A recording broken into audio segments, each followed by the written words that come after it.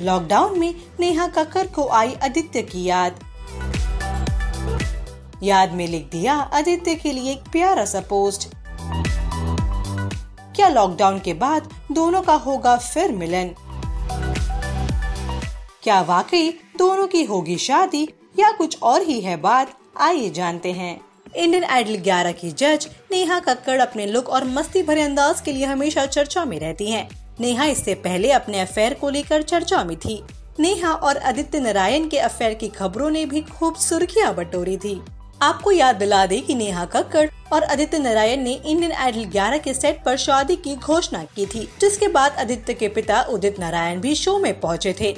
दोनों ने 14 फरवरी 2020 को शादी करने की घोषणा की थी, जिसका सीधा फ़ायदा शो और चैनल की टीआरपी को हुआ था। वेल, अब नेहा कक्कड़ ने एक और तस्वीर शेयर की है, जिसकी इस समय काफ़ी चर्चा हो रही है।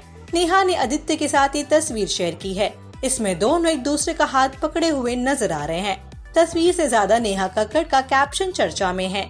नेहा ने स्पेशल तस्वीर को शेयर करते हुए लिखा लॉकडाउन खत्म होने के बाद मैं वेल, आपको बता दें कि इस पोस्ट पर आदित्य ने कमेंट किया और कहा, हम कितने लकी हैं जो हमने लाइफ के इतने खूबसूरत मोमेंट्स को साथ जिया टीम बनकर। I hope you are safe and healthy अपना ध्यान रखना। जल्द ही मिलते हैं नेहू। वेल अब इस पोस्ट के बाद से फैंस ने आदित्य नेहा के दोबारा साथ आने के कयास लगाना शुरू कर दिए हैं। आपकी क्या राय है नेहा के इस पोस्ट पर? अपने कमेंट सेक्शन में ज़रूर बताएँ। ऐसे ही खबरों के लिए देखते रहिए टेली मसाला